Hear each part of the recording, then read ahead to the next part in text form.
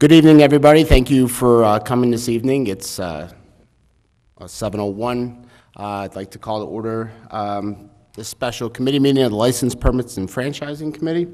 Um, And the sole purpose of this special meeting is to discuss uh, video gaming in the city of Palos Heights. Um, I have a couple opening statements here. Uh, First, again, I'd like to say thank you and welcome uh, to everybody in attendance this evening who's taken time out of their busy schedules to come and express their views or to listen and to find out um, uh, more information about this matter. Uh, I'd also like to express uh, my thanks to everybody who has submitted emails. Um, And we'll talk about that later on, or I'll, um, I'll tell you more about those in the public comment section. Um, so to begin with, um, I just wanted to kind of uh, tell everybody where we're at. So uh, this matter, so currently in the city of Palos Heights, um, video gaming is prohibited. Um, so businesses cannot have um, the video gaming that we see in, in businesses uh, all around Palos Heights. Um, this matter was brought to referendum on November 6th of 2018. Um, There was a vote tally of uh, 1,240 uh, voters in favor, while 1,670 voters uh, voted against, or 42% for, 57% against, so this uh, matter failed. Now, I just want to um, tell everybody what the referendum is, if you don't already know. It was a non-binding referendum. That means um, that if it did pass, it was still up to the city council whether or not um, they would allow video gaming in the city. Um, And if it didn't pass, uh, if the city council at a future date uh, decides to allow video gaming uh, in the city of Palos Heights, this matter does not need to go back to referendum. Um, That being said, uh, this matter was presented to the voters um, to solicit their feedback. So a prior city council wanted to find out, um, uh, take the temperature of the residents of Palos Heights and see if uh, this is something that they would be um, interested in having in, in their city or, or not. Um, So, um, that being said, th- the matter this evening, uh, Alderman McGov- McGovern, excuse me, has brought this matter to the city council um, for reconsideration. Uh, Now, Alderman McGovern has done an awful lot of work um, researching our neighboring communities, uh, researching uh, various ordinances, um, and he, he has uh, constructed a draft ordinance that uh, provides a parameter of what he's asking uh, the city council to consider. Um, He brought this to the full city council, and the mayor uh, thought it best to refer this to committee, this committee, to do the legwork, to figure out what was to be done with this matter. Um, In discussion, in our uh, committee meeting, we determined that because this matter was presented to the voters uh, for their consideration, um, all of us felt that it was imperative, it was imperative to um, come back to the residents and um, get the feedback again, um, to see if anything's changed. Um, So you, we asked for your say in uh, November of 2018, and we're asking for your feedback now. Um, So the way this is going to go, I have a, I have a statement from the mayor that uh, he's unfortunately out of town, uh, but he did uh, write a statement he would like to have read. And then I'm going to refer uh, to Alderman McGovern um, to kind of explain um, some high level about uh, the proposal that he would like to bring forth. And then we would like to open it up to public comment. Um, When it's your turn to come up and speak, please identify yourself uh, by name and address. Um, We'd like to uh, limit this to five minutes of public comment, just to give everybody a chance to speak, and that we're not here until uh, the daybreak. Um, But uh, sometimes, they, you know, they, if you have questions, uh, we can answer what we can answer, and, uh, you know, we'd love to have the back and forth, but let's give everybody a chance to speak.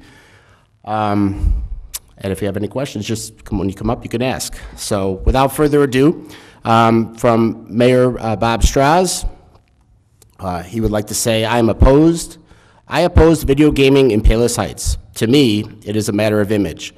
As Palos Heights has become known for its fine restaurants such as Capri, Harvest Room, Franklin's, Cafes, and in some pizza circles, Joe's Italian Villa, why would we want to add video gaming to that image?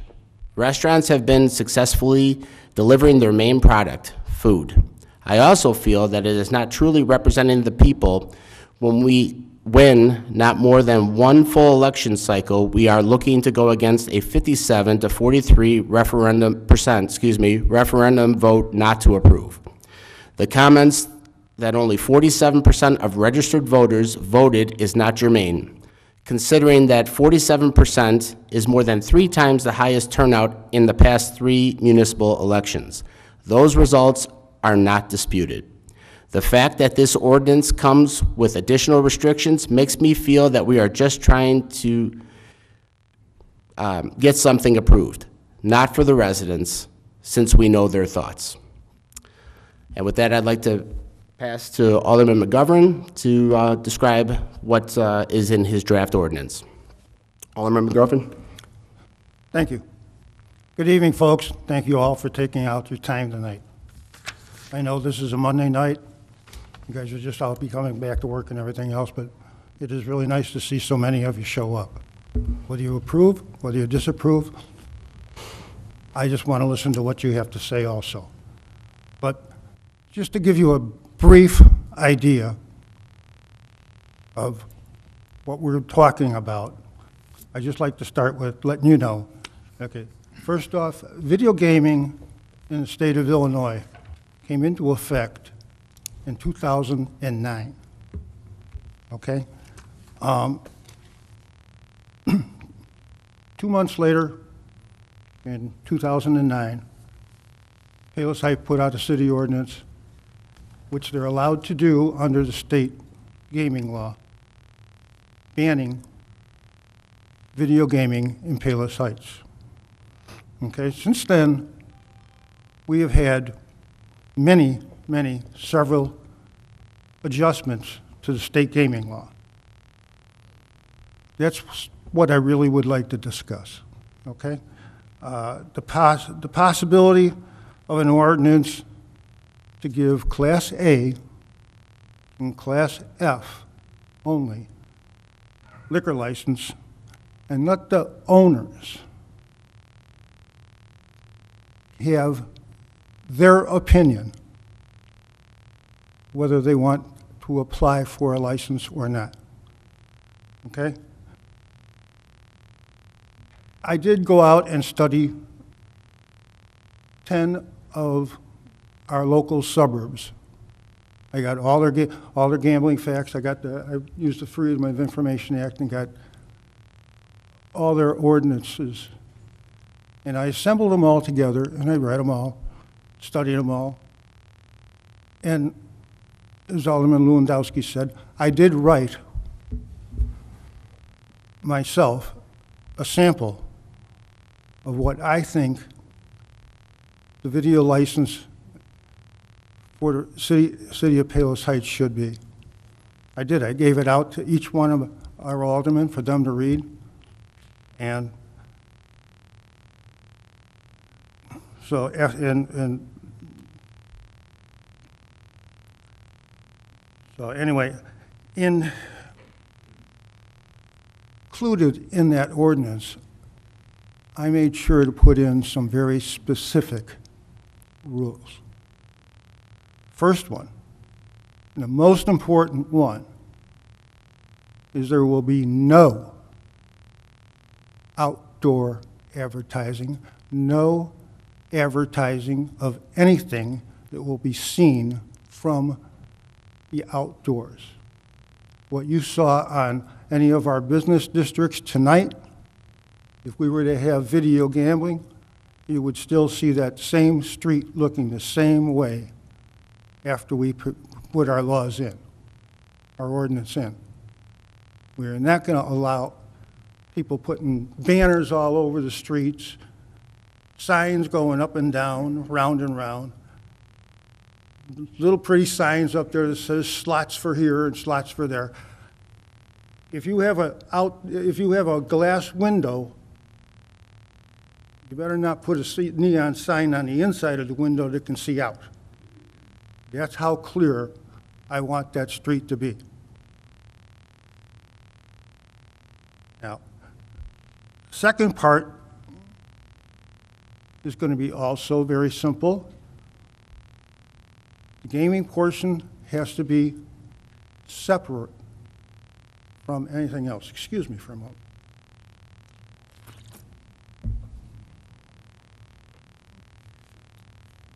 It must be recorded, okay?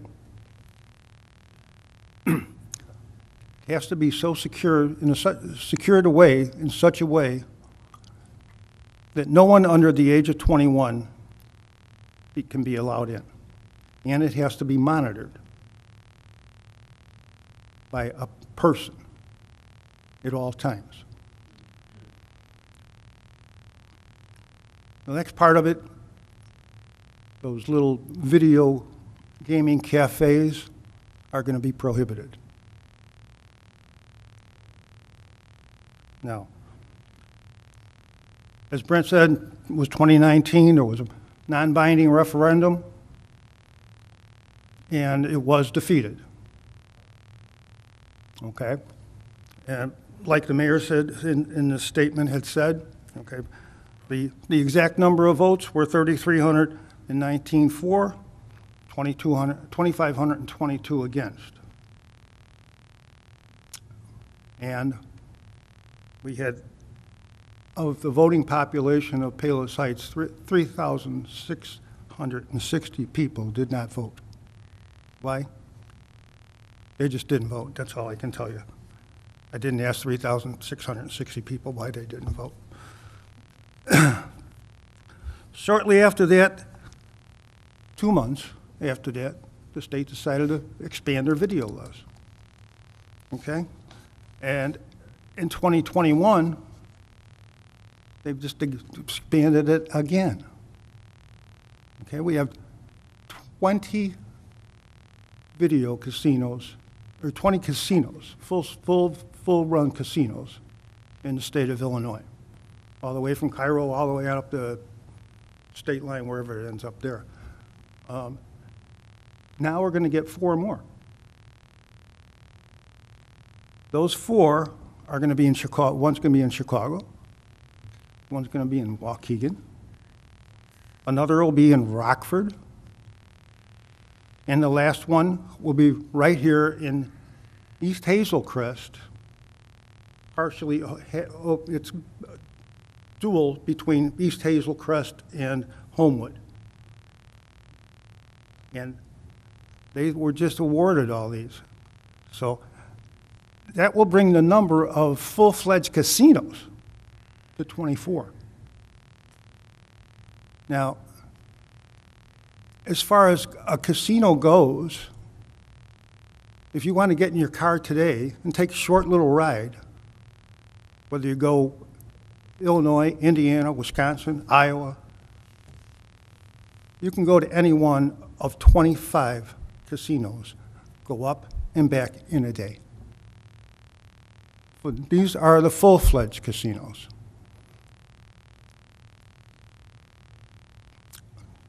Gambling is now a $1 billion business in Illinois.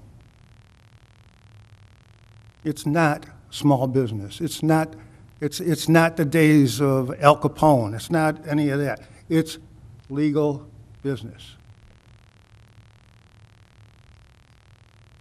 And Illinois just happens to be the fourth largest state as far as video, uh, video gaming terminals are. We've got over 46,000 in the state of Illinois.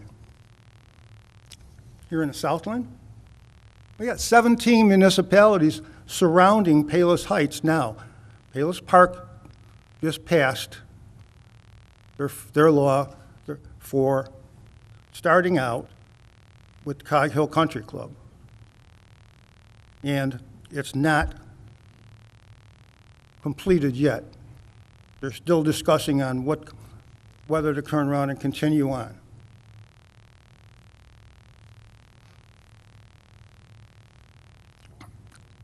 Add to the 17 municipalities, don't forget, unincorporated Cook County did it too.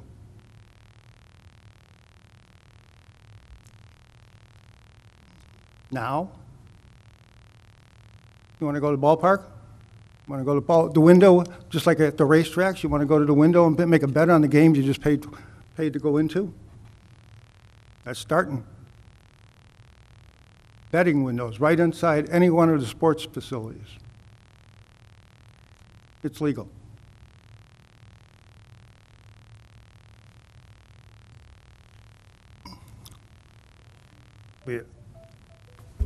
And if we don't allow video gaming here in Palos Heights, we're going to lose revenue. We're already going to get some revenue when this East Hazel Crest and Homewood casino opens up. We are among the local communities that will be allowed to get a percentage from the communities. So we're we're already getting buddy money.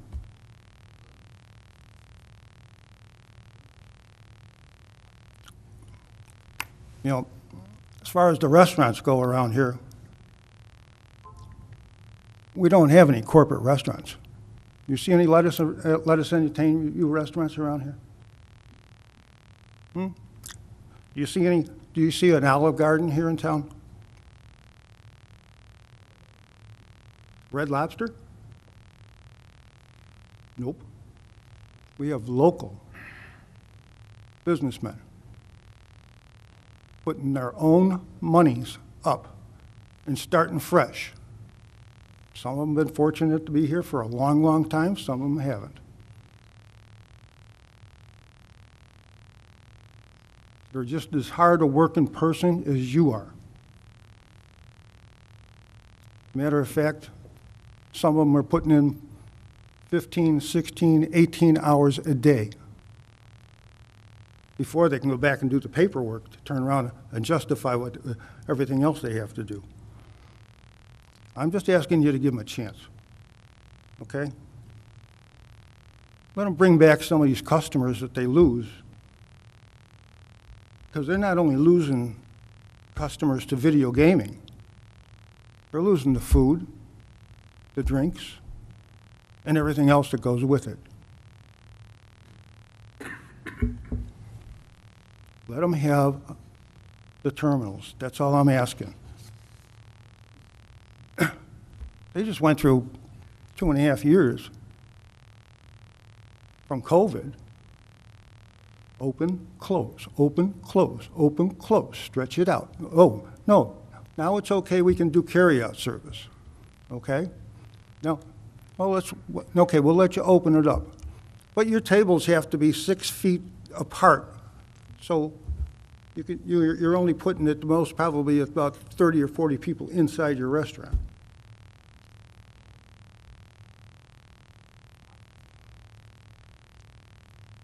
As far as the gambling itself, welcome, welcome to 2022, okay? Want to go home? Grab your cell phone. Grab your computer. Grab your Kindle. Okay? Or home computer. As a matter of fact, if you take your cell phone, why don't you just go down to one of these bar, uh, bars down here, these restaurants down here, and sit right at the bar.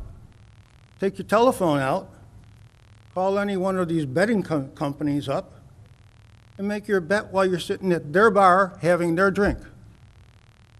But no, we can't let them have a video gaming terminal in there.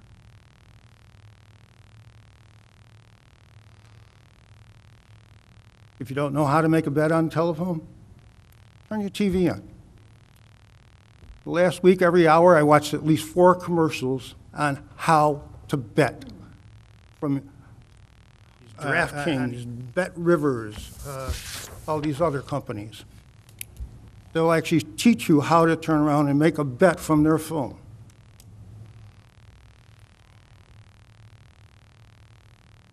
For these licenses, with, first you got to have a liquor license to get the gambling license. We all know that.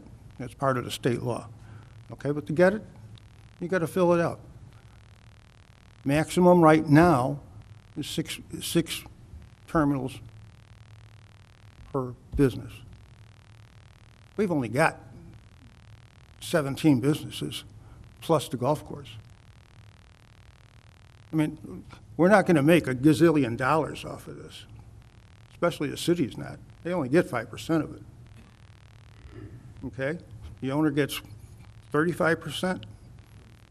I think the vendor gets 30%. The state gets 30%, and then we get the last five. So, and as far as that goes, what my hope would be, I've got two ideas for it. One, we go right back into the business district. The money. Go right into our, we've, we've got what we call a, a business improvement program and a, a sign, a sign grant program. Take a slice of that monies and put it right back into the district to keep improving what we have out here in Palos Heights, what our buildings look like.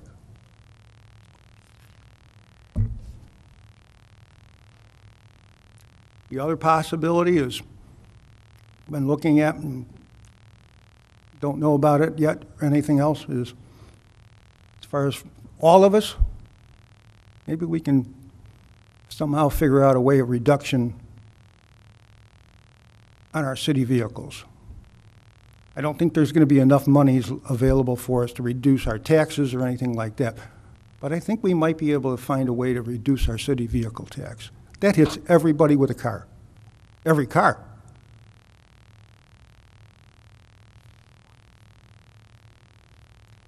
So, and, you know, in my closing, I just want to remember, show you one thing, okay? Remember these signs? Remember them? Support local business? Hmm? This was during the COVID sign, COVID problem. We would we support our local business, do everything we possibly can. Well, I'm doing my part. Thank you.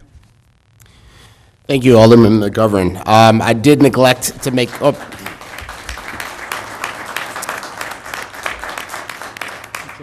My, I beg your pardon, I did neglect to uh, inform everybody that this is being recorded and will be broadcast on Wednesday on both Channel 4 and on our YouTube channel. Um, And with that, I'd like to invite anybody who would like to come up and uh, make a public comment. Again, please remember to identify yourself and your address. Um, And we got a five-minute limit, but we'll be a little flexible on that. So I welcome, yes, ma'am. Thank you. Thank you, Chairman and Alderman, uh, Alderman McGovern.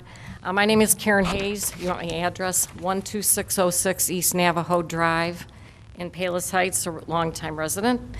Um, uh, First, I was just going to read a quick statement, but I just want to thank uh, the alderman for kind of making my argument against video gambling in Palos Heights, because it sounds to me like you're making the argument that there's way too much gambling in Illinois and in the surrounding areas. And I'm, I'm all for freedom, and I think people can easily get plenty of, of gambling, as you said.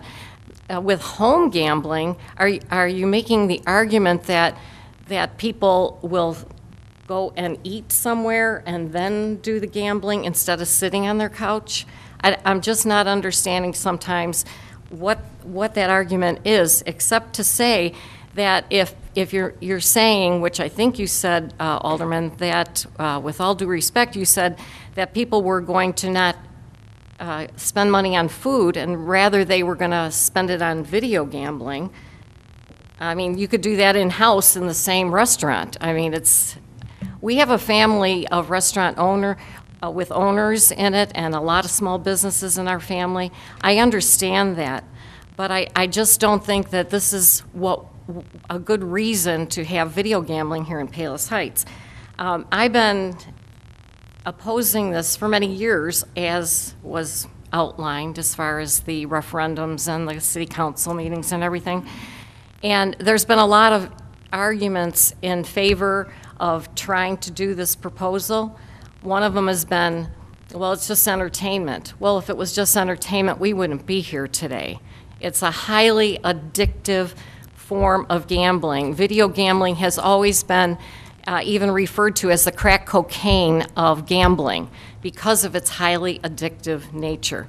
And I remember at the at a city council meeting a couple of years ago, not too long ago, where we were having city we were having signs all over the city welcoming students and parents of Trinity Christian College students uh, and asking them to, I think of the Chamber of Commerce might have sponsored them, and they were asking them to, uh, you know, or inviting them into uh, local businesses. At the same time, we were asking uh, for, or, or somebody, I, I don't know if it was still you, uh, Alderman, but there was a proposal on the table at the same time to bring in video gambling.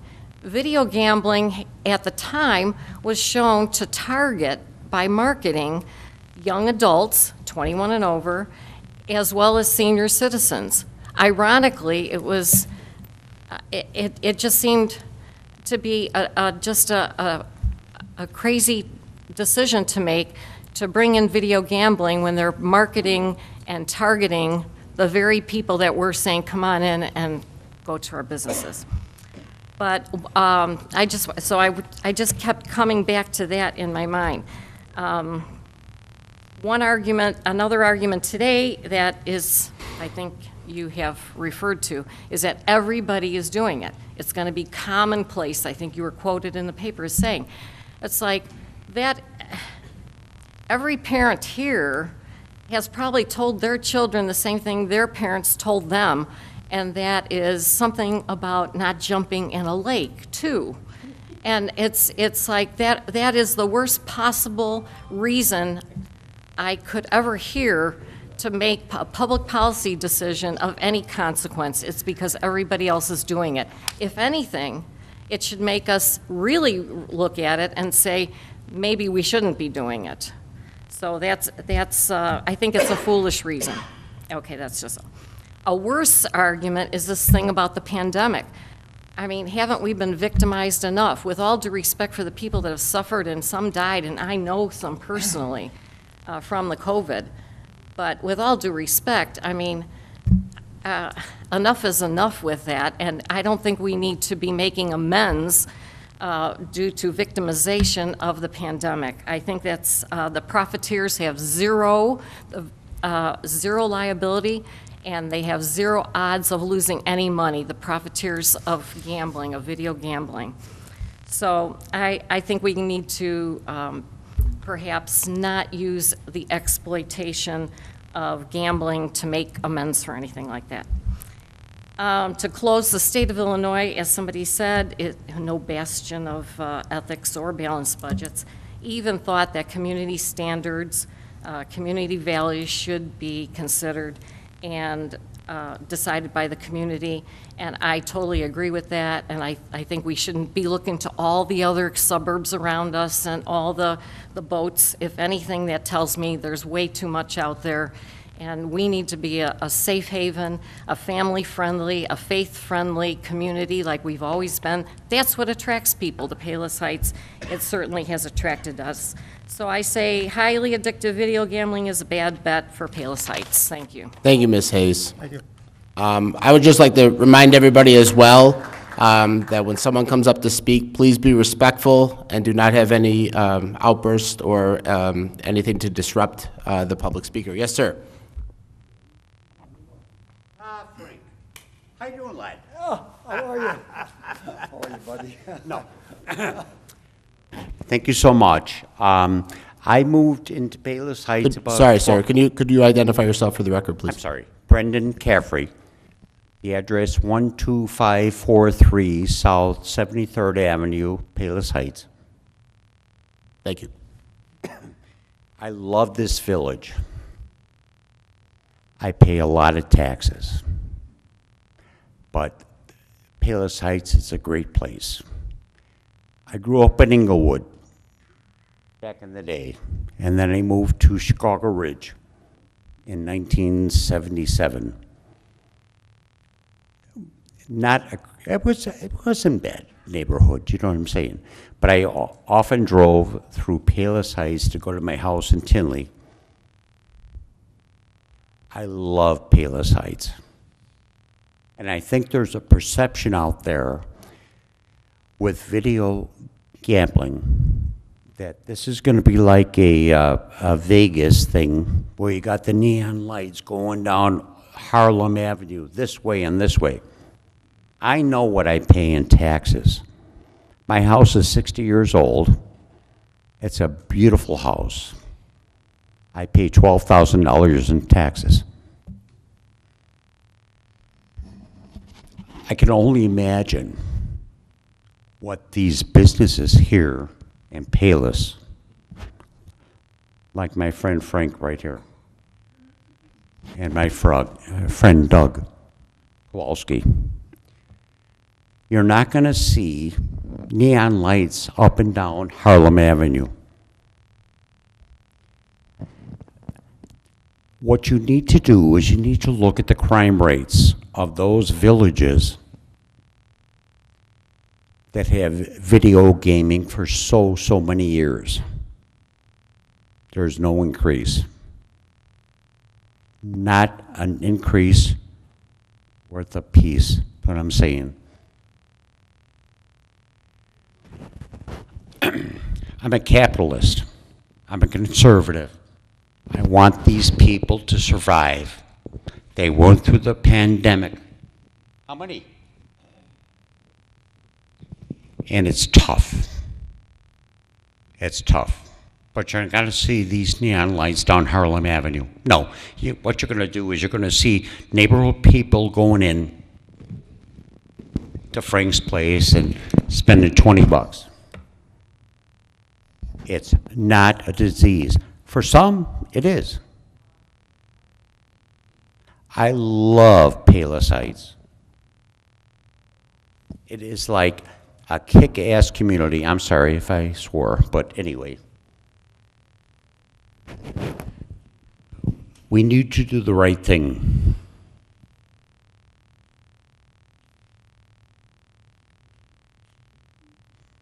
And I know I'm just a Mick, but that's my heart. And I will stay in Palos Heights as long as I can. But I also want to support the great uh, businesses. Thank you so much.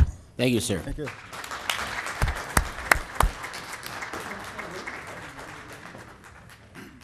Yes, ma'am.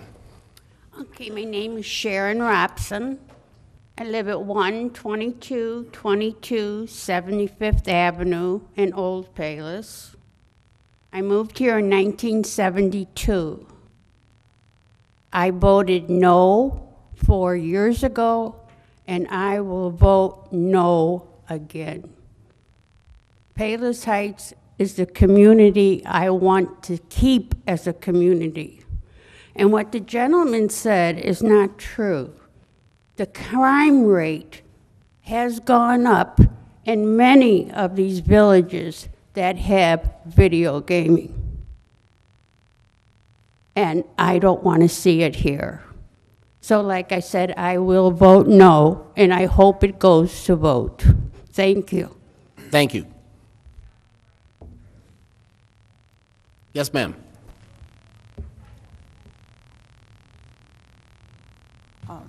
My name is Patty Muller. I live at 7241 Ishnala Drive. Uh, And I thank you for the opportunity for residents to comment. Um, My parents built the house in in Ishnala over 50 years ago, and we've been here that long. My children went to school here, my husband was a policeman, I taught in 118. Uh, My father was an alderman many years ago. Palos Heights has always been a wonderful place to live. We have an excellent police department, fire department, we have an excellent library. Everything about Palos Heights, outsiders will say, oh, you live there? Oh, it's so nice there. Oh, you guys have such a nice, nice city. I, for one, would like to keep it that way. Personally, I feel that the video gaming is a negative to bring to the city. Even without the lights and all the advertising, it doesn't matter, it's still there. And as far as uh, Alderman McGovern's comments about, you know, we're an island, everyone around us has video gambling, uh, we're the last of the Mohegans, sometimes it's kind of good to be in that place. I'm sure all of us, at one time, who have children, have told them, just because everyone else is doing it, doesn't mean you should do it, doesn't mean it's right. Sometimes it's better to be that outsider looking in. Everything here is just, it's just a nice area. And I really would like to see it stay that way, and I don't think video gaming is the way to go. It just is, is, it may initially begin with residents, but we all know that people will travel, they will go other, everywhere if that's what they want to do. And it's not necessarily, in my opinion, the best route to take. I would like to see Heights stay the, stay the way it is and continue to be the kind of community where our children are being well-educated. We've got a beautiful college campus here. My daughter and daughter-in-law both went to Trinity. And it's just one of the best places in the southwest suburbs to live. And I would like to stay that way. Thank you very much. Yes, ma'am. Oh. You're next. Yes, sir. Gino Myra, Mama Vesuvio Restaurant, 6361 College Drive. I just want to say that uh, I like to see the game and come in. It ain't going to change the community at all. It ain't going to change anything that's going on right now. It ain't going to bring riffraff from outside. They got their own places to go, their own neighborhoods. We keep our customers, the ones that want to come in our place, and uh, enjoy the game. And we keep it organized. We keep it in a room separate from everything else. Nobody's going to see these things. If people come in to dine, are not going to see it. Another thing is, there's uh, restaurants don't really want it. That's fine. They're welcome not to have it. But we should have a choice if we want it or not. The state of Illinois has given us that choice. So I think Palos Heights should give us the same choice. We need to uh, fight every day to stay alive in this business, especially with all this. I don't want to go back to what's going on with the pandemic, but the only thing I want to say, my property tax, you talk about 12,000, mine's 65,000 a year. I mean, that's a lot of pennies I got to put together every day. We're selling beers for three dollars. That's a lot of beer we got to put together. We're selling Vesuvio dinners for sixteen ninety-five. We try to keep our prices low. Reason why we want the community people to stay in our place and enjoy our meals. Also, I want to bring out that the people we lose that go other places for gaming, they might come in for dinner and they're gone. Well, what happens is they go to other communities and they get established in other communities, uh, other restaurants. Well, when they have a family meet or a family funeral or a family uh, get together, a, a christening, a baptism, they're going to these other places. We're losing revenue in our district, which is Palos Heights. I've been in business in Palos Heights 42 years. I have nothing against the people in Palos Heights. I love Palos Heights. I love the people in Palos Heights. I really don't care how the politics is going right now in Palos Heights. I think it should be changed for the gaming. Um, also, what I see is that the money build up from this gaming to the state of Illinois, it's to help the school districts, to help programs, to help the music district for, for the, some of these, some of these uh, schools are cutting out the music programs because they don't have enough money. There's the money going back, the same money that you call illegally, it's going back toward the communities again. I see wonderful things going on. There's bad things, sure. There is people that overdo it, just like people overdrink, people use too much drugs. It's in every community. You're not going to get away from it. But we want to keep it respectful in Palos Heights because I love Palos Heights. I love the people in Palos Heights. I love their activity. I'm always for everything they do. I get involved with everything they want to do with Heights. I run a, a nice bocce league, nice people come in here. I see a couple people here that belong to my league there, that come in. They know we do everything very clean and very respectful. I don't see what the problem is. I don't know. I haven't heard one good reason why we shouldn't have it. The only thing I hear, we just don't want it in Palos Heights, and we don't want these people come in here. There's, Mr. McGovern, can you please tell me how many crimes have committed from these, from these, uh, you, you were once a detective, and I think you did your homework, and you told me you did, and I believe you have, sir. How many, how many crimes were created uh, from this uh, gambling in different communities around us? I did a study of two years. I had the police department actually do the study for two years, everywhere around Palos Heights. In two years, they searched 10 different suburbs. There were two incidents. They were both in Hickory Hills. Two incidents out of hundreds of places that have it.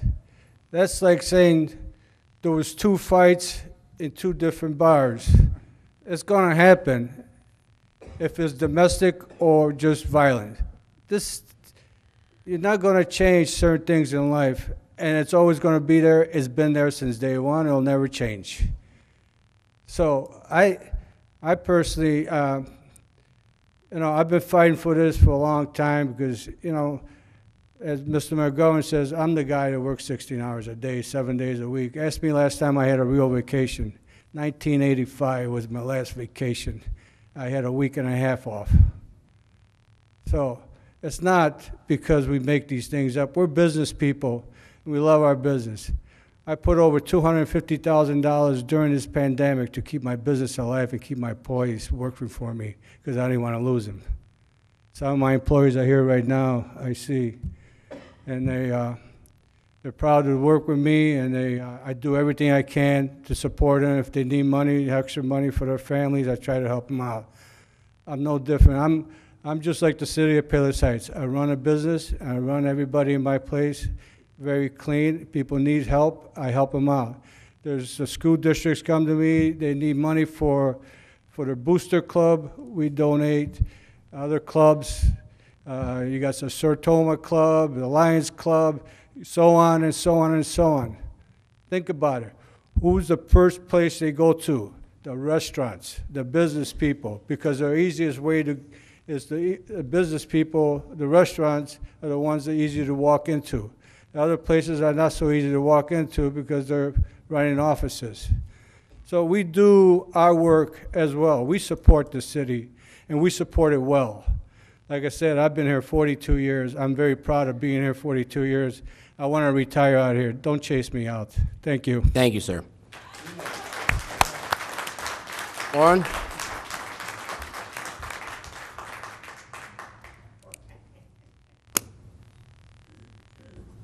Good evening, everybody. My name is Lauren Kirkner, 7240 West Palos Avenue.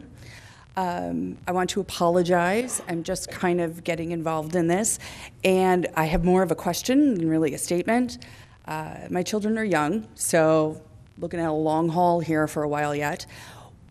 What would bringing the gaming into town actually do? How would it improve our town? I have heard why gaming is bad, but, and I have no choice one way or the other quite yet. I'm still just trying to gather facts. But what kind of positive outcomes would we see from getting the gaming in town? How would it impact us? Do you know that? Oh, you want an answer? Well, I'll, I'll take the Ready? first whack at it, maybe. So, so some of the arguments on the other side are that uh, the businesses, um, the additional revenue for the businesses make them more sustainable um, to, to stay in town. Um, Also, there, there is a revenue component for the city. Um, A small one, though, right? Was that like that five It's- percent? Yeah, but it's, it's difficult to qual, quantify that, but somewhere, I mean, uh, in, di- in discussions in preparation for this meeting, somewhere around $250,000 a year isn't, isn't too off base uh, of new um, revenue stream for the city. Okay. So those are the kind of the two arguments. And then for is it this. also almost the idea that this would bring more business into town? If people could have gaming in their bar or restaurant? Is that a, no? The whole business. The whole business.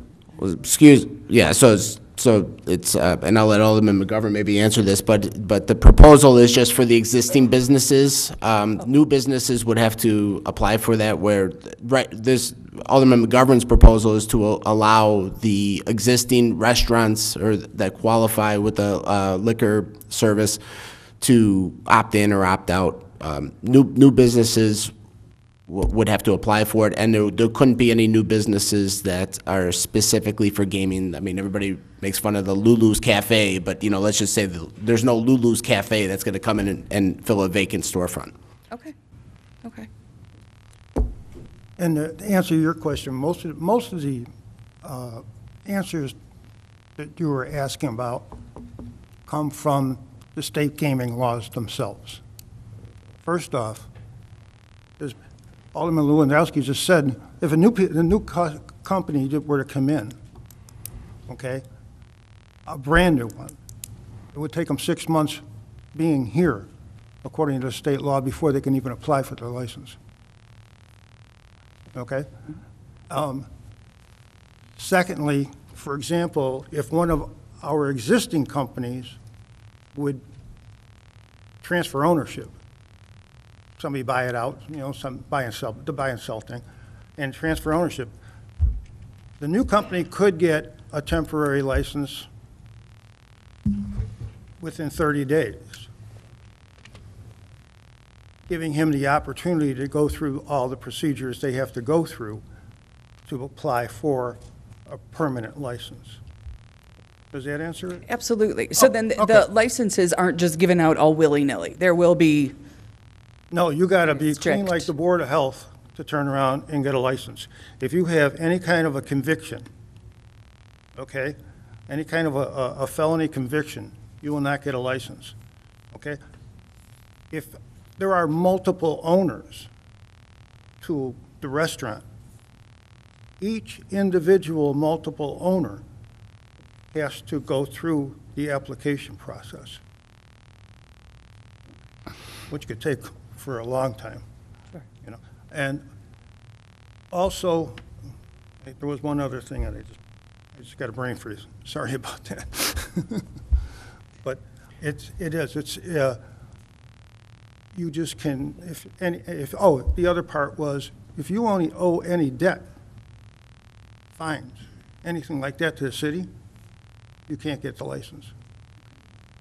okay, that's perfect. That gives me a broad idea of I what's hope going I- on. I hope I Nope. answered your question. Very good, I- yes. Thank you. and- Thanks. If there, if you have Appreciate any more, everybody's please time. ask. Okay, Thank great. you. Thanks a lot.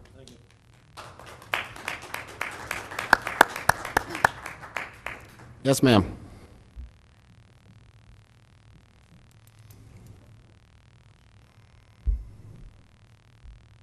Made it. Barbara Pasquinelli, 12210 Cheyenne Drive. You're probably thinking, there's a little old lady, she's going to say no. And you'd be absolutely right. And the reason is exactly as the mayor stated in his brilliant statement. He just listened to every word of that statement that uh, Bob Straz made, and uh, you'll hear the exact truth and wisdom of that statement. That's it. Thank you, ma'am. Thank you.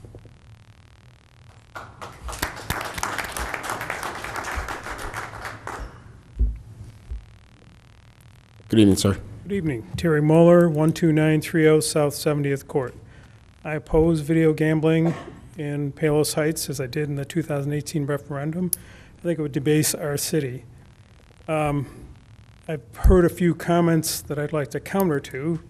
Not allowing it, it puts our eligible businesses at a disadvantage.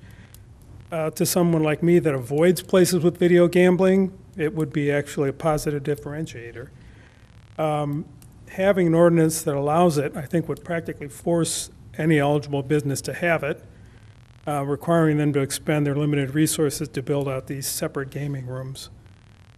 Um, all the surrounding cities allow it. Um, Many people have made the, I tell my children the a- analogy, so I'm not going to go over that again, but Palos Park, as I read the regional reporting, had a significant number of residents object or be opponents to video gambling. Um, They decided only to allow it at Cog Hill Golf Course, which abuts Lemont and is about eight miles from the village hall. So it's nowhere near in Palos Park yet. Uh, This is needed to help businesses hurt by the pandemic. Many businesses beyond restaurants and bars were hurt by the pandemic. It would be a very limited number that would be hurt by this measure to allow video gambling in town. And it'd be a permanent blemish in response to a two or three-year challenge.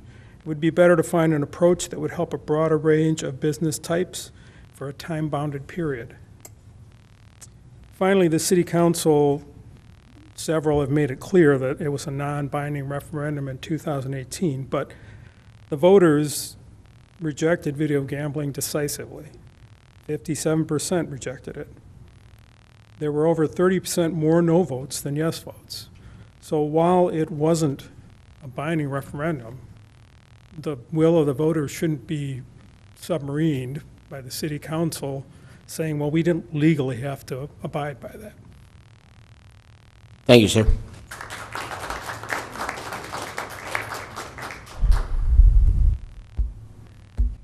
Hang on, one sec. I'm going to give everybody else a chance to speak first, sir, and then, yes, sir? Would you like?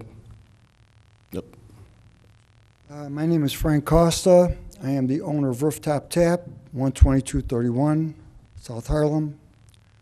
And uh, while I've heard all the comments here, uh, at the end of the day, if you drive the streets of Palos Heights, which Palos Heights I've owned, I own four properties in. I've owned property since 1979 in the Heights. I live in Palos Park. Uh, Every third or fourth house is a remodel. Every fifth house is a tear down with a new house. The dynamic of the town is changing. And I understand there are a lot of people like to keep everything the same way. Uh, like to drive their old car, like to go, go to the same store. Um, we, as restaurateurs, Gino said, myself, we're losing probably 15 to 20 percent of our bar and restaurant business. People leave us, they go somewhere else. Once they know the name of the bartender, they know the name of their favorite waitress, we don't see them anymore. That's a fact. That's the way people are. Now, as far as addiction goes, let's eliminate alcohol. We should eliminate drugs. Let's, if we're going to eliminate, let's eliminate bingo. Let's, elim- let's eliminate Queen of Hearts. Everything, if you take it to an extreme, is an addiction. Let's eliminate fat people. I won't let anybody in my place that's overweight. We'll try to solve that problem. The, where we're at right now is that to keep the people of Palos Heights, to keep the young people of Palos Heights, the people that are doing these remodels, doing the new homes, that have got their kids, yes, in, in Little League, which we support, in basketball, which we support, like Gino, okay? In all those sports, who ask us for whatever, and we try to give it up, okay, to keep this city vibrant, and that's what it's about. Old people die, we die. Okay, just like any lodge, just like a golf course. If you don't bring young blood in, the city dies. And I think right now, the crossroads is, is where do you want to go with this? And I think, I don't know what the vote was. I, I don't know what the demographics of that vote were two years ago. But I do know, I, and I've heard it, I've heard it at my bar. I've heard it, Frank, I'll be right back. My wife wants to just go pull some slats at 111th Street. 10 blocks away. She wants to go to Crestwood, a mile away. That's the fact. They don't come back. They don't come back. So while everybody, you know, can say what they want about, you know, how good things are and how pleasant Pleasantville is, at the end of the day, count the empty stores on the street. And if they, if they can leave my place, or leave Gino's, or leave uh, Donna's, and if they can walk down the street and go have an ice cream, doesn't that help the ice cream place? If they find out they got to have gas and they can go to the corner on 27th, rather than be in Crestwood, find out they need gas and go to their gas station. Doesn't it help, again, Palos Heights? So at some point, I mean, you got to draw a line in the sand. You're either going to be for businesses or against businesses. And if so, put more nursing homes down Harlem and let's get it over with. That's it.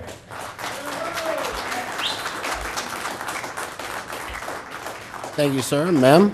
Oh, hang on one second. The-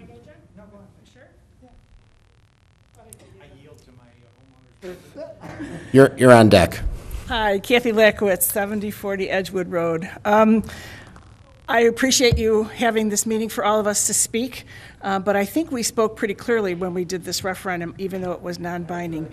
And at the end of the day, um, I love going to Gino's, and I love playing bocce over there, but we'll not be going there anymore if there's gaming. I don't go to a restaurant to game. I go to a restaurant to eat, to socialize with some friends. Sir, And I please, won't. excuse me, excuse me. We're all going to be respectful of the public speaker. Allow her to say her piece. I Ms. just also Lakowitz. know that we have 550 homes in the original Westgate Homeowners Association, and there are no tear downs. There might be some additions, there might be some remodeling, but there are no tear downs. So I don't know where you're seeing some of the tear downs unless it's an Old Palos. I just, I just want to be thankful for all of you that you've allowed us to speak, but I thought we spoke already. So if we're going to go to referendum again, let's do it, because I don't think it's going to pass again. Thank you. Thank you, Ms. Lakowitz. John? My name's John Hanley, 7121 West 130th Street. Um, Like the gentleman before, I grew up in Englewood, moved to uh, Oak Lawn, used to dream, used to dream about my uncle's home here in Palos that he built in 1960. I'm very active in the community. I am one of the guys that goes to his place, Gino's place, to ask for contributions for the car show, the beautification committee, the art garden. I'm constantly going to these different homeowner, or uh, uh, business owners. So I'm on the, I'm not saying I'm in favor of gambling. I have some very good friends here that obviously are not. My president of my homeowners association is not. My two aldermans, I'm not sure what uh, your take is, Mike, but, you know. So, Heather, that, so I'm on the fence, but we have to do whatever we can to do um, as a community to make sure his business stays in Palos Heights. Gino's business, I'm at Gino's once a week. So uh, whether he has video gambling or not, I'm still going to go there. You know, so I go to, I frequent all the restaurants in Palos. As you can see, I, I like to eat, so, uh, or have a drink. So either way, we have to make some decisions to keep these um, businesses in Palos Heights active. So, thank you. Thank you.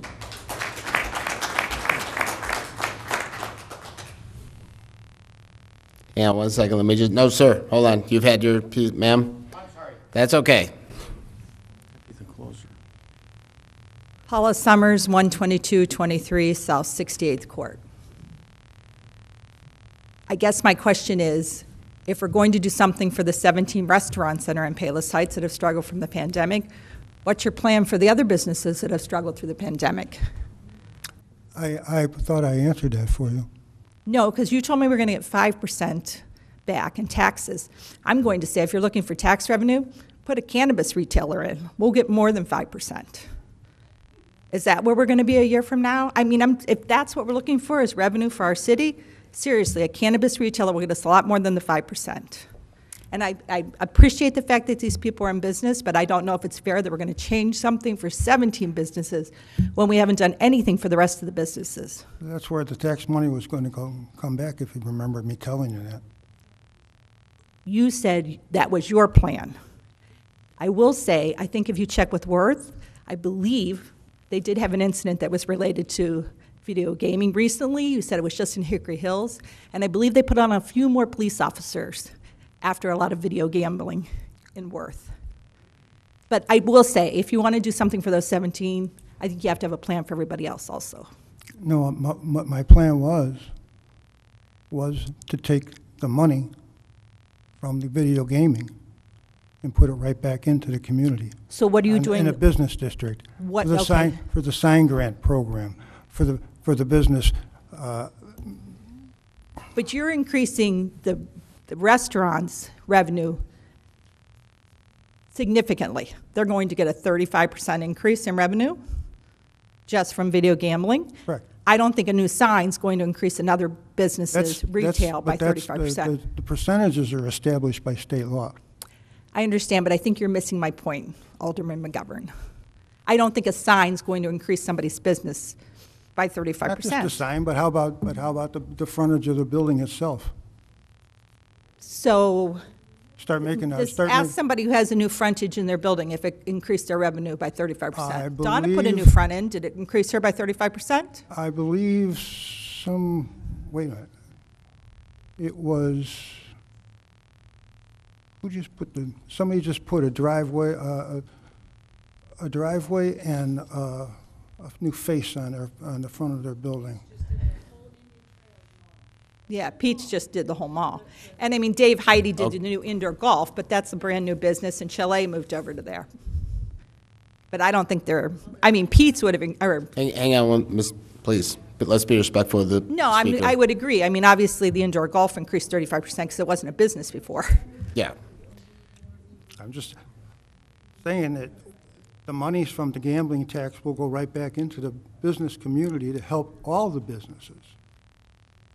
I'm an accountant. I would like to see the statistics on how you think that's going to increase their business by thirty-five percent. Thank you. Thank you, Ms. Summers.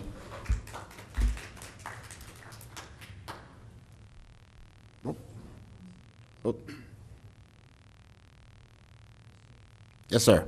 My name is Bill Moran. I live at 12527 West Navajo. And uh, all these people are talking, the restaurant owners are talking, or you guys are talking about uh, revenue. What about the Harlem overlay? All the businesses, if you go there and you pay a check or whatever, isn't there uh, a different tax compared to everybody else that's off the uh, Harlem overlay? I think I'm right. Do you, uh, don't they pay a higher tax? And that tax, the reason why you did the uh, Harlem overlay is to give it back to the businesses. Where's that going? Goes back to the business. So, uh, be- I don't see no difference. Uh, I mean, are you guys pulling a sham or, or, or No, wag they have the to apply dog? for it before, before, before they can, it's the owners that have to apply for it. I think he's talking about two different things. So when you say overlay, are you talking about the TIF district? Well, the Harlem overlay, where that massage parlor shouldn't have been, but so-and-so uh, uh, did a secret vote or whatever, let that, the massage parlor over there, it's gone now. But why did we ever let that massage parlor go with the uh, uh, Harlem overlay? I know this has nothing to do with the gambling, but, uh, uh, but the Harlem overlay was for the businesses to add another tax on, onto the bill. So what is it, 9%, 10%, 12%? That money was supposed to go to the owners of the restaurant. So that's income right there. The, uh, the, uh, the video gambling is not going to make up what they're losing. I can't, I can't see where that money is going to help these guys one bit because, and then uh, so-and-so's talk about, you know, young people. Young people don't drink like they used to. If they don't want to go to the tavern, I hardly go to the tavern myself. I mean, I don't, I, I don't understand, is this all about income for the village? The village makes money off your utility bills. Did you ever look at your, uh, you know, your bills? They're getting money off your cell phone, this, uh, the heating bill, the, uh, so, you know, lost revenue, I just don't get it. I hear everybody lost revenue. We're not losing anything in this village. We're not losing one dime. Any given month, we're over a million dollars ahead of any other village. If you hear uh, the tax report, uh, let's see, the treasurer, we're making money hand over fist, and you can't deny that. So I, I just don't get it. Nobody's losing any money. We, they should be getting money over the Harlem overlay. I mean, that's what that uh, program was for. So I just don't get it. I, I mean, maybe, I don't know. I know you're talking about stuff all the time.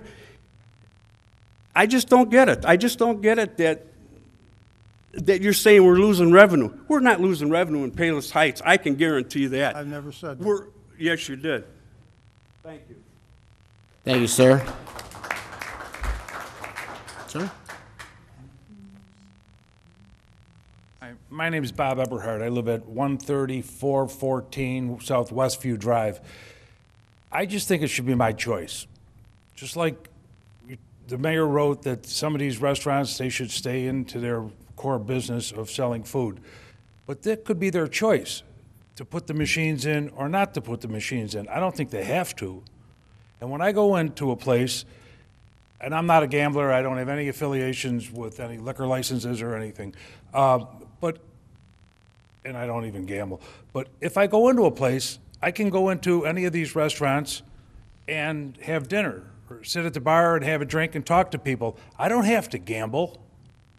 And when I walk in, and if I do gamble though, I could become a gambleaholic or whatever it is and gamble my money away and my family falls apart. I understand all that. But at the same bar or restaurant, I can walk in there and I make a decision do I want to have a drink or not? Right?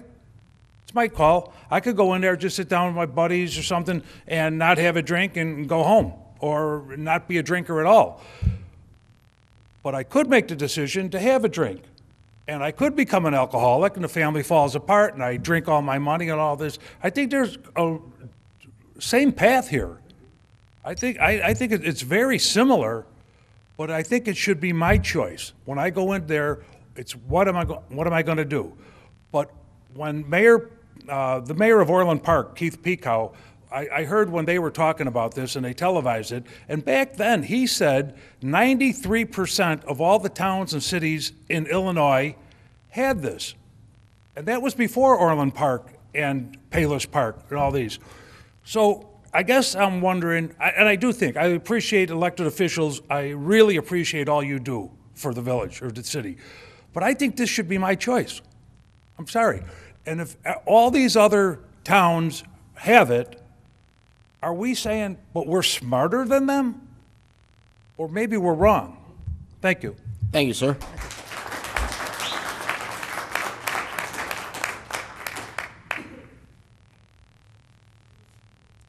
Hey, Steve Rhodes, 12611 South Diane Drive. Uh, You have to forgive me if I repeat anything that's been said. I was unaware of this meeting, it's probably my fault, but I can speak for quite a few people that I've spoken to in the last hour that are also unaware of this meeting, and uh, they thought that this, this issue was settled when we voted. Uh, It was, it was a pretty much a landslide, and we thought that we were not going to have to worry about this anymore. Pardon me. Um, I understand that there's some people that want to have their choice. They can choose to go to the 93% of towns that have this and go do what they want to do. I know that my choice is not to go to a restaurant with my family and have to deal with any possibility of dealing with any of that stuff, and a lot of people feel the same, the same way.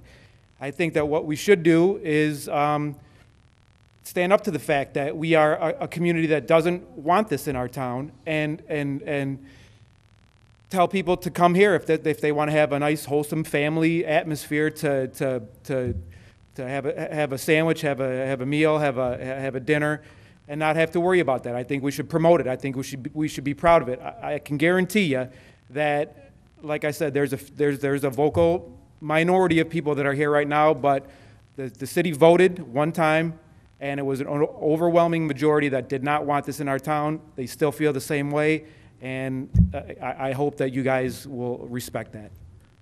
Thank you, sir.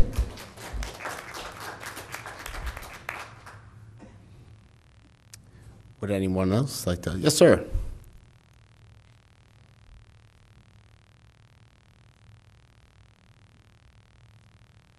My name is Dennis Sullivan.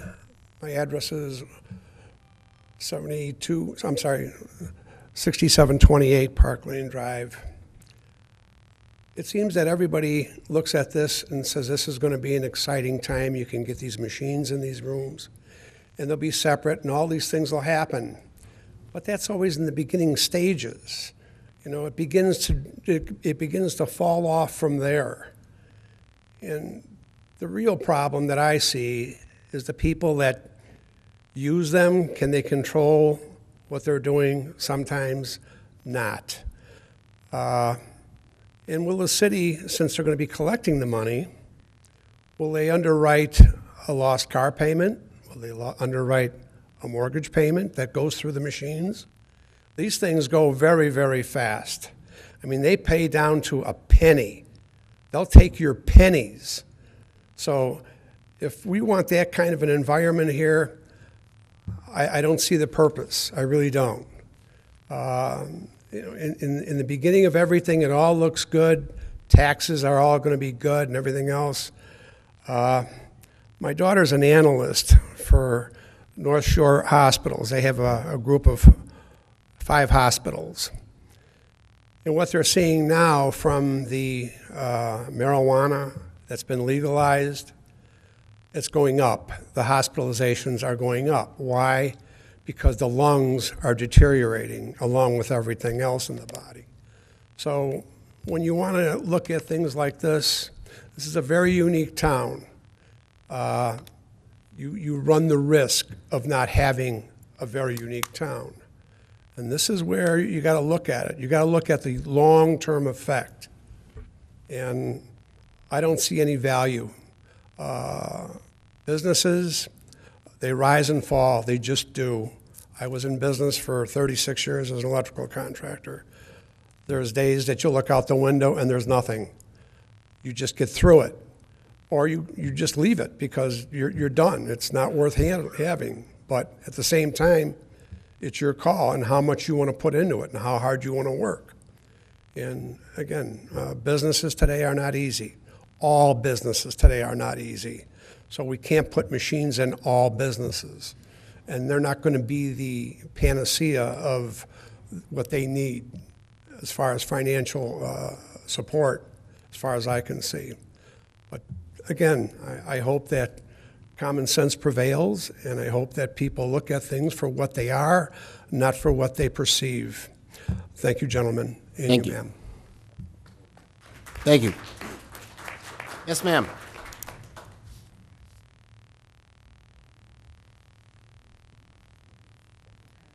Good evening. My name is Linda Herman. I'm at 6219 West 124th Street. I'm one of those $20 gamblers, okay? People may have a problem with it, but I need to just kind of bring it forward that there are all these other gaming facilities within very fine establishments in our area.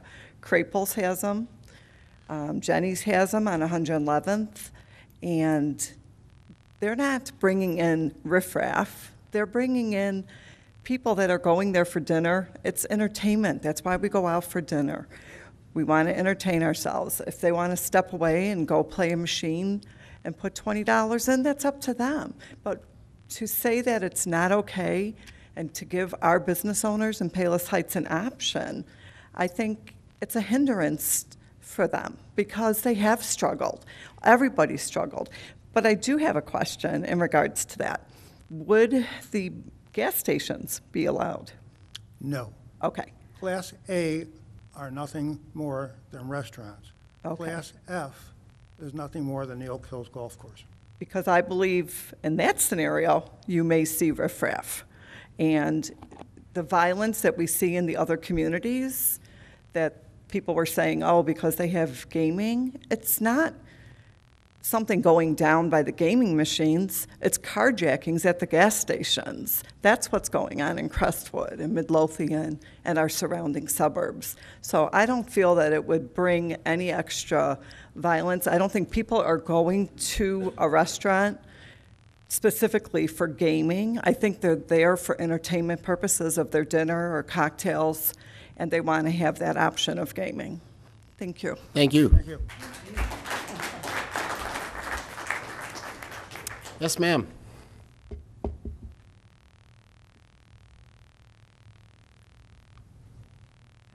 Nancy Brody, uh, 13217 Greenleaf Trail. Uh, First of all, I think we should call this what it is. Uh, It's gambling. Uh, Gaming sounds more fun, um, but it's gambling. Uh, I've had very limited experience with seeing these machines in one place where we didn't know they had them, and we went. Um, In order to get to the ladies' room, I had to go past the three of them, and it didn't look like the people at the machines were having fun. Um, They were sad-looking, um, lonely-looking, and bored. Um, Be that as it may. Um, We've been through a hard time uh, the last two years, and all the businesses have suffered, all the way from the shoe store that had to close, but you could go to Walmart and buy shoes, and then the computer store, and then the dress shop, and then the florist, and the camera shop, and the bakery. They all suffered. I think things are coming back. I, I hope they are. So it's not just the restaurants and the bars which we have wonderful restaurants. Uh, we're there frequently.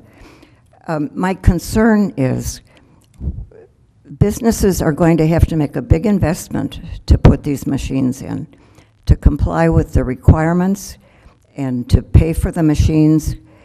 Um, I think they're, the vendors are the ones that are going to make the money. But it's a big investment on their part. And with what happens when people find another way to deal with their boredom or their, um, their wanting entertainment? Uh, and they stop doing the video machines. Um, maybe they go to the boats, or maybe they'll go to these new casinos in Chicago, or maybe they'll spend it on marijuana. And when their revenue decreases because people have found other ways to entertain themselves, what's, what's the city going to do? The city is going to be put in the position of having to promote gambling because everybody is dependent on it. And that's not an appropriate use of taxpayer money to promote the gambling, to, to bail out all the agencies, the governments, the businesses that have become dependent on it. Uh, that, that's my concern about it. We have wonderful restaurants in Palos Heights. Uh, I, I thank all of you. Um, but I don't think that video gambling is the way to, to help them. Thank you. Thank you.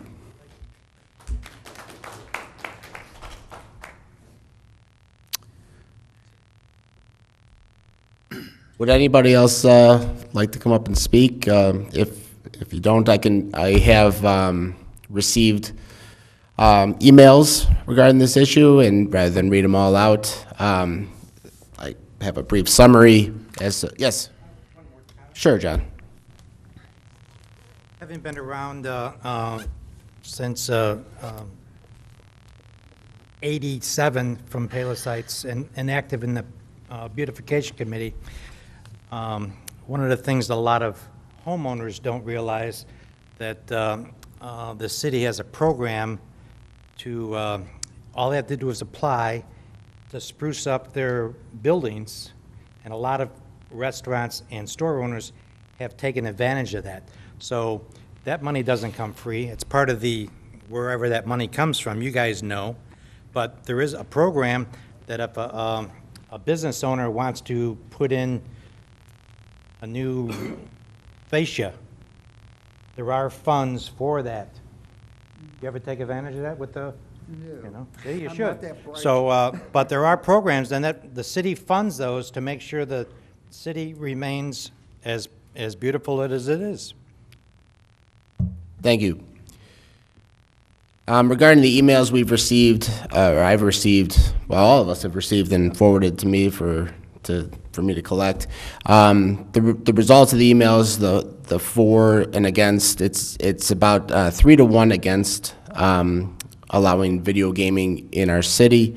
Um, on the on the the pro side, you know, that I, I think, and I think we heard it here this evening, I think residents of Heights love our businesses and love the fact that we have family-owned businesses and we don't have uh, franchises, um, that we have a uniqueness to our uh, restaurant community that uh, we all enjoy and, and really try to, uh, to, to go as much as we possibly can. Um, so they would love for the businesses to be sustainable. Um, however, I think um, one, of the, I I guess, to encompass that, what uh, what would we sacrifice as a city as far as image for that? I mean, uh, of course, there were some uh, concerns about the addictiveness um, as well. So I'm just kind of bringing something that um, to encompass everything besides uh, the pitfalls of, of, of gambling. Um, is is the image that this city wants um, to to have going forward, um, and the the concern that video gaming uh, would would uh, have a negative impact on that image. Alderman Clifford, did you have something?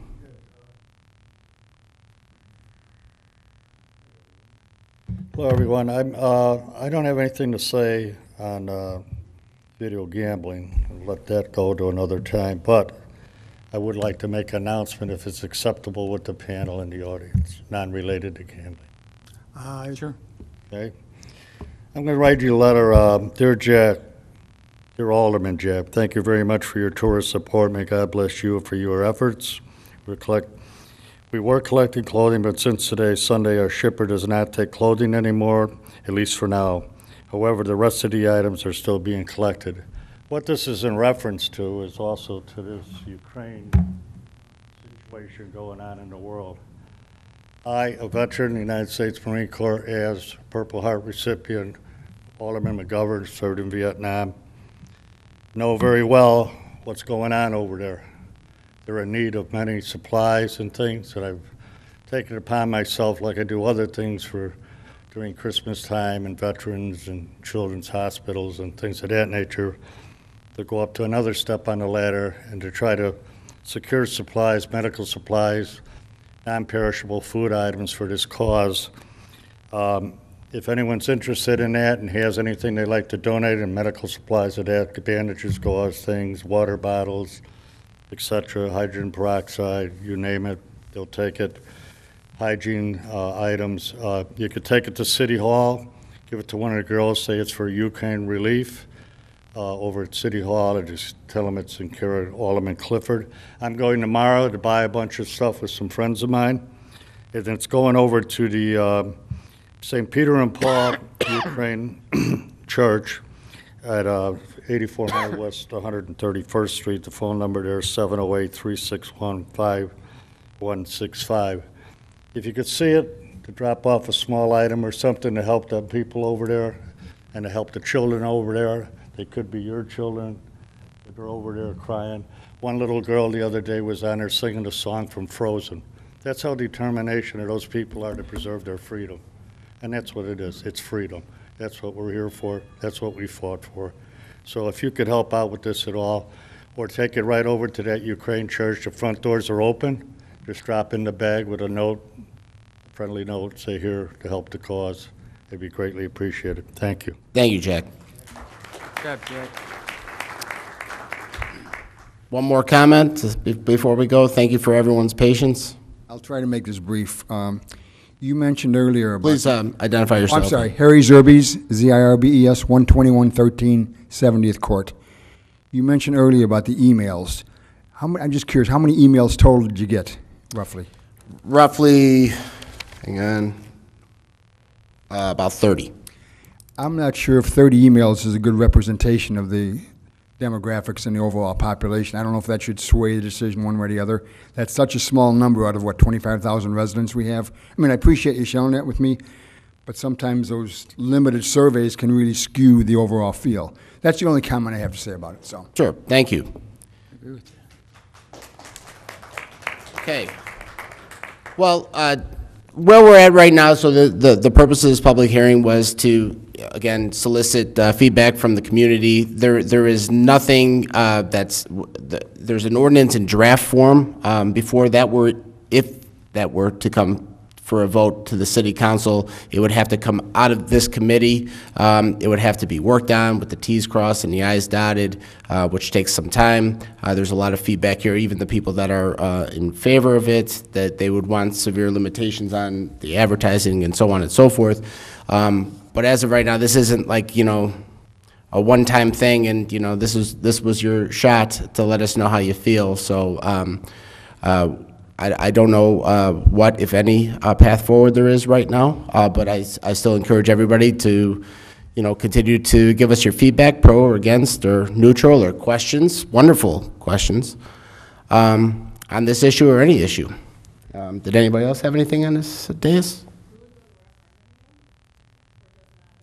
Doesn't have to.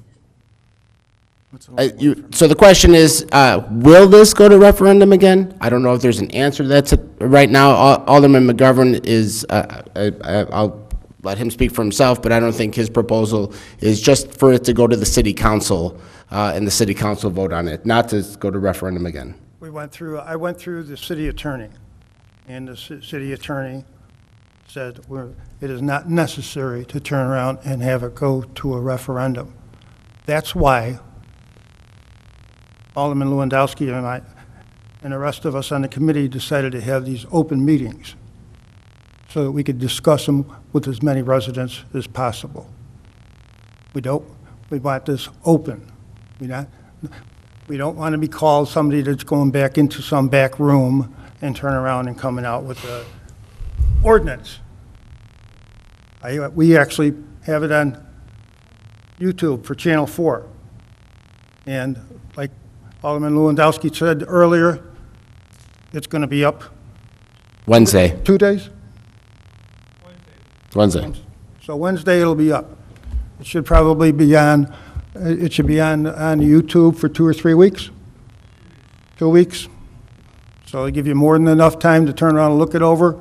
Anybody else that needs to review it, or any, anybody else that feels that they were unable to make the meeting tonight, they can turn around and go on YouTube, or they can go on uh, the government uh, channel, uh, Palos Heights Channel 4, and they can re, they, they can watch it li, uh, at videotaped, excuse me, it's not gonna be live. Oh, yeah, you can still email, you can still send an email, you can send a phone, make phone calls. I, I have no, pardon me? So the question is, will there be another public hearing? I don't know. I, I think that the uh, plan was to uh, bring the results of this public hearing back to the committee, which meets tomorrow, and discuss what's the next steps forward. Maybe there will be another public hearing, maybe there won't be anything, you know, but, uh, yes, John? always public comments at city council meetings. And committee meetings. And anytime that we meet in an open meeting, um, there's an opportunity for the public to um, provide public comment. And of course, any email, if it's directed to, you could send it to me, and if you want it read out in the public comment section, we'd be happy to do that as well. Okay? And Well, thank everybody for, for coming this evening and for your patience, and uh, I'll make a motion to adjourn. One, mo- one more, okay, uh, Oh, one more, one more comment? I just want to really make one more comment. One more comment, please. I'm sorry, I, I was uh, preemptive there. Alderman McGovern would have one, one more comment, please. Um, I really want to say thank you to everybody that really did take it, and I really mean this from the bottom of my heart. I'm not kidding you. This is great. This is great. I think, I think this is better than everything else we had. But I also have to turn, as you, as you must realize, I am very pro-business, okay? Very much. Uh, I've never had to put money down to open up and start a business or anything like that. And I pray that none of these people ever have to close one of these businesses because that loss of revenue to the city along the line goes back to the homeowner. Look at cities like, look, look at some of our, our, our suburbs that are losing money and losing businesses, losing manufacturing. Who's picking up the tab? And that's all I have to say. Thank you.